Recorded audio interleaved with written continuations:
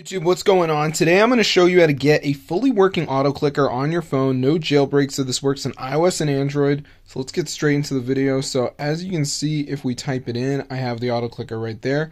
So I'm going to show you guys how to download it. So what you want to do guys is go ahead and go onto this website. So let me just type it in right here. So this is the website guys where we're going to download the auto clicker. So once you're on the site, guys, just go over here, find the auto clicker, press on it, press this button, and wait for it to download.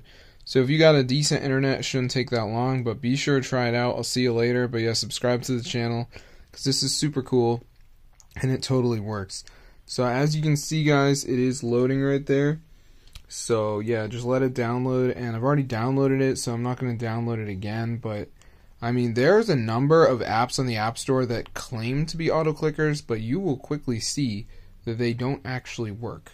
And this is the only real auto clicker for iOS devices. So be sure to try it out for yourself. I'm going to see you guys later.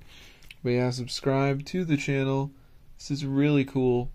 And yeah, you do not have to jailbreak your device, guys, which is sick. I mean, I'm all for jailbreaking, but if you are jailbreaking solely for the purpose of getting an auto clicker, it's not really needed. And in this video, I showed you how to do it without jailbreaking. So try it out for yourself and uh, peace out.